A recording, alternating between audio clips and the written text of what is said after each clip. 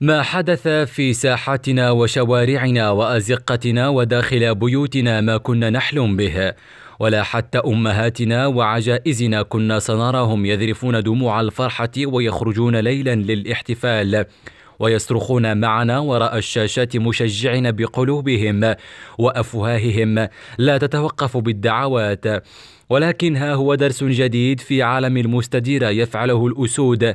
ليعتبر المعتبرون أن كل شيء بالإصرار والعزيمة والإرادة القوية والانضباط والروح الوطنية البطولية تصنع المعجزات. ما عشناه إذا حقيقة وليس أوهام، وما تم إنجازه اليوم شيء إعجازي خيالي كبير في تاريخ كرة القدم، يصعب تصديقه وتدوينه بكل تفاصيله الغريبة والمثيرة لكونه مجد عالي المستوى ولأنه جاء بعد جهد جهيد وتخمينات وترتيبات وتخطيطات مدروسة من قبل الطاقم ككل الذي يقوده ربان السفينة المعروف براسلافوكا حتى أصبح المغرب الآن ضمن الأربعة الكبار يعزف نشيده في أكبر محافل العالم.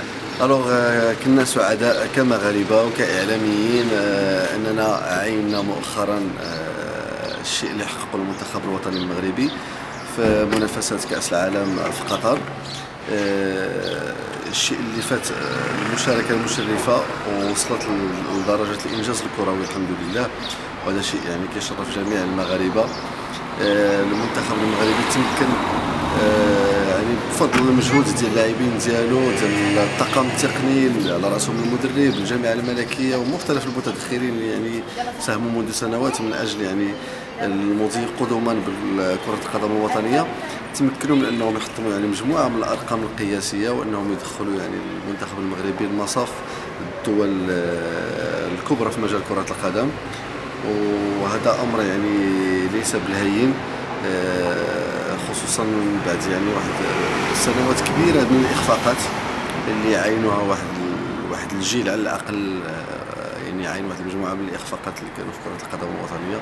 والحمد لله كان يعني كان التغيير وهذا شيء أسعدنا جميعا وكنشدوا بأيدي المنتخب الوطني وكنشكروه على الشيء اللي قدموه آه، سواء كرة القدم المغربية سواء المغرب ككل لأنه الإنجاز ماشي إنجاز ماشي إنجاز كروي فقط.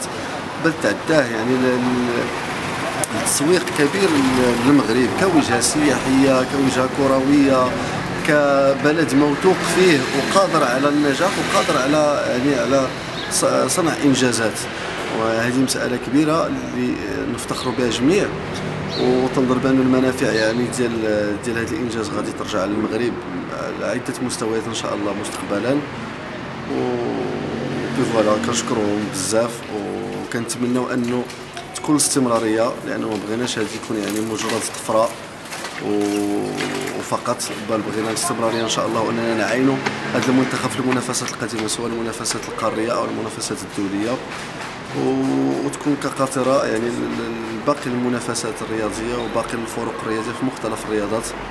وتكون أيضا قاطره للأندية الوطنية باش يستمروا في الإنجازات اللي تمكنوا من تحقيقهم في الأونة الأخيرة منذ تعيين رئيس الجامعة الملكية فوزي القزاع المشكور بدوره على آه، على الإنجازات اللي تحققت في العهد ديالو. وشكرا حكاية ستبقى خالدة في الأذهان وسنحكيها لكل جيل وسنتغنى بها في كل محفل.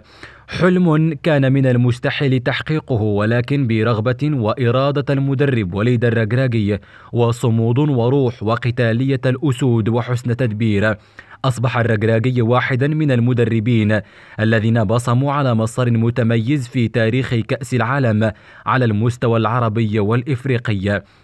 شكرا لمجموعة قتالية أعادت لنا الأمجاد وكتبت ملحمة ولا في الأحلام.